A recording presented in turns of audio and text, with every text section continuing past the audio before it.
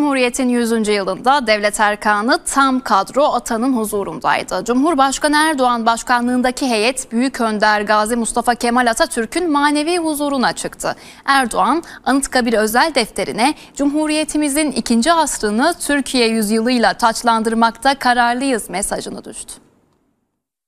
Aziz Atatürk, milletçe en büyük eserim dediğiniz Türkiye Cumhuriyeti'nin 100. yıl dönümüne ulaşmanın gururunu ve sevincini yaşıyoruz. O en kıymetli eser artık bir asrı geride bıraktı.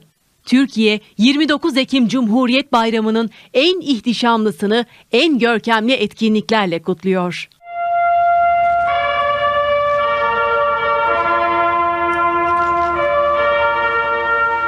Resmi törenlerin ilk adresi her yıl olduğu gibi bu yılda Anıtkabir'di. Saatler 11'i gösterdiğinde devlet erkanı kalabalık bir katılımla Aslanlı yolda belirdi. Ay yıldızlı çelengi taşıyan tören kıtası ve Cumhurbaşkanı Recep Tayyip Erdoğan, ardında ise kalabalık heyet Büyük Önder Gazi Mustafa Kemal Atatürk'ün mozolesine yürüdü.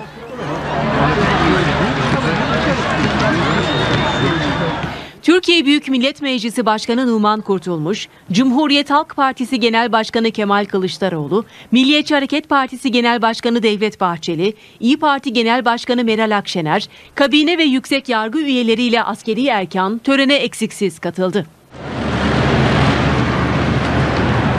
Cumhurbaşkanı Erdoğan üzerinde ay yıldız bulunan çelengi Atatürk'ün mozolesine bıraktı. Ardından saygı duruşunda bulunuldu ve İstiklal Marşı okundu.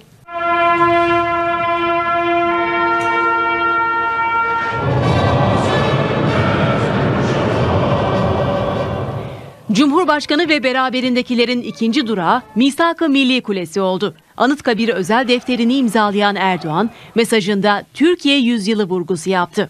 Her bir anı ülkemize ve milletimize hizmetle geçen 21 yıllık iktidarlarımız döneminde emanetinize hakkıyla sahip çıkmaya çalıştık.